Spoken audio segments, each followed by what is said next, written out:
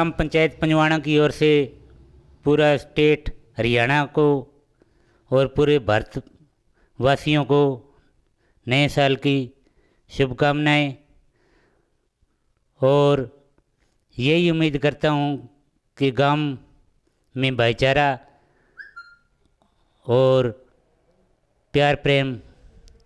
बना रहे, दिन दुगनी, रात चौगनी, गाँव में विकास हो